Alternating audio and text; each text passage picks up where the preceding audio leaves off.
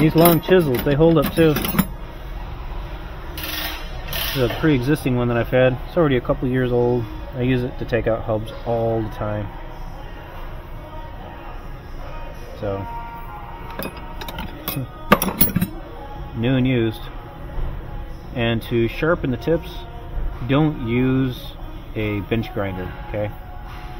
The bench grinder will heat this metal up too much and it'll temper it and then it gets brittle. So then when you go to use it it shatters. Instead of mangling you want it to mangle like this. You want this to uh, deform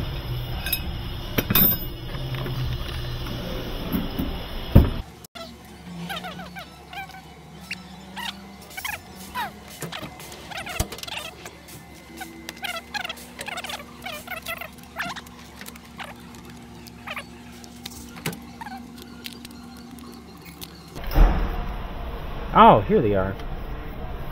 Man.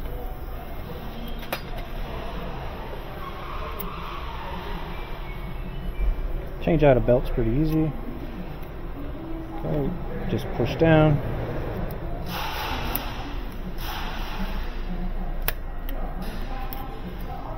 This is the low tier model. It's only like $90.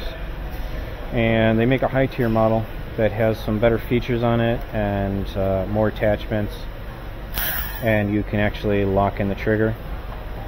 But still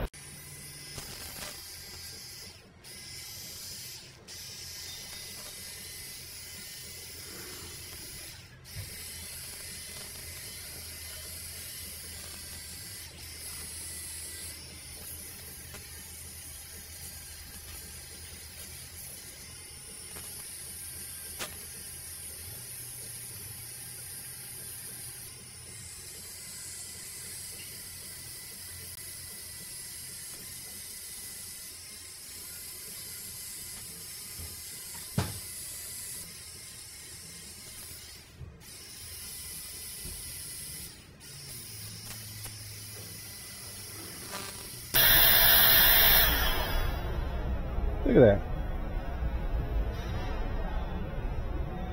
Could use some more work, but I don't care. That's pretty good. So that's the way how you retool your edges.